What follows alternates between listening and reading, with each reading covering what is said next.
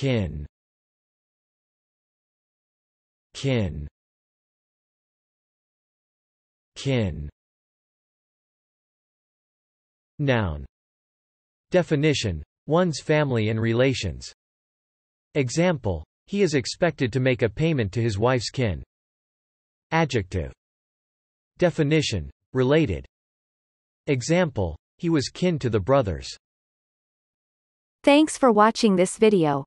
Be sure to subscribe to our channel to get more free learning resources.